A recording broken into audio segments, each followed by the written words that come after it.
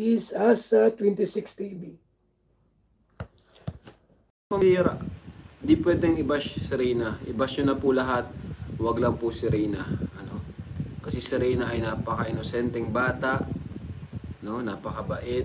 Wala ka pong makikita kay Reyna na ah, kabash-bash.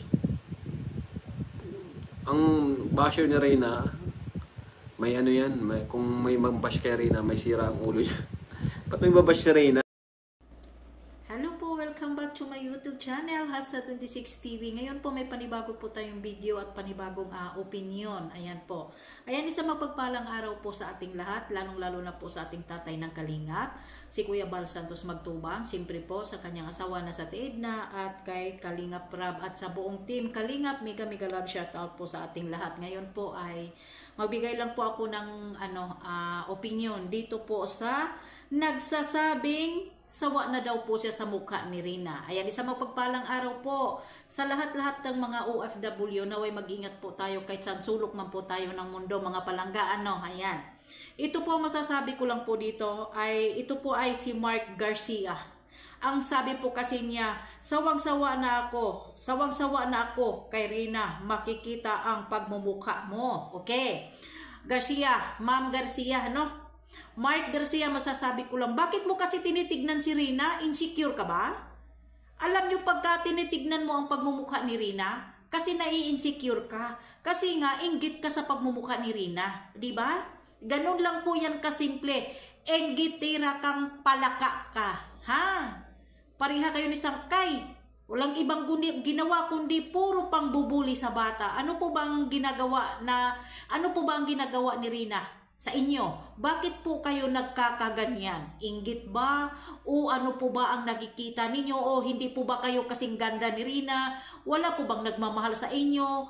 Wala po ba kayong ah, mga sponsor? Wala po bang kayong wala po bang nagsusuporta sa inyo? Ha? Yan lang po ang masasabi ko sa iyo, Mark Garcia. No, wag mong panoorin si Rina para hindi ka ma-insecure. Grabe ka?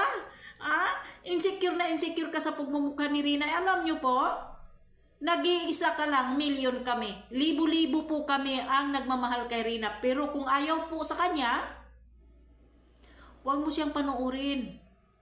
Ah, magsama kayong dalawa ni Sir Sangkay na mga masyadong matataas ang mga ano ninyo, mga ano ninyo, mga ah, pangarap sa buhay. Inakikikabit lang naman tayong lahat dito sa Team Kalingap, hindi ba? Nakikiride po tayo sa kasikatan ng mga kanilang mga ah, mga programa. At isa rin yan si Sangkay, nakikiride lang din sa programa ng Team Kalingap. Lalong-lalo na pag nag-reaction siya sa mga video. O di ba? Katulad po yan ni Mark Garcia. Laking inggit kay Rina. Grabe po. Mark Garcia, tumigil ka na. Oy, kung ayaw mo, ay hindi mo gusto si Rina o nagsawa ka na sa pagmumukha ni Rina, tingnan mo sarili mo. Huwag kang mag, ano, huwag kang magalit kay Rina. Hindi ka na ano ni Rina, no? Hoy, mga luka-luka, mga luka-luka, kayo po ang mga ano talaga, no? Hindi mo pa gayang tignan si Rina. Kung nagsasawa ka, huwag mong panoorin. Ha? Huwag mong panoorin, i-scroll mo ang pagmumukha mo. Yan lang ang masasabi ko, no? Ha, yan ang masasabi ko sa iyo, Mark Garcia. Tumigil ka na para hindi po ikaw mainis sa pagmumuka ng dalaga namin na napakaganda. Grabe po. Di ba? Yan lang po ang masasabi ko, no? Tumigil ka na para hindi ka pagtutulungan dito. Nag-iisa ka lang. Marami kami. Hangyan, ayan po mga palangga, no? Huwag na huwag ka nang magbabalik dito sa comment section kung saan ka man naroon ngayon. Kung nasa planetang Earth ka, nasa planetang Mars, o sa impyerno, kadalhin. Yan lang po mga palaga hanggang dito na lang.